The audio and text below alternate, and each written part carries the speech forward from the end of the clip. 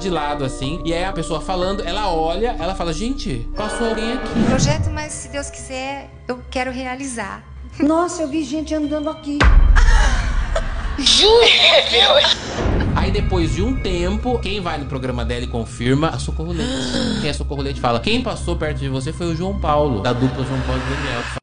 Um acidente de carro. Lembra de um filme com uma suposta aparição de um menino É do atrás de uma Três cortina? Solteirões e um Bebê. Que isso? Essa é é real. Solteirões e um Bebê. Era uma cena do filme Três Solteirões e um Bebê. Essa aparição é incrível. Um ator, o bebê e uma senhora nessa cena. Eles estão numa sala. Eles passam numa cena da sala e dá pra ver nitidamente uma criança atrás da cortina. What's your name? Mary.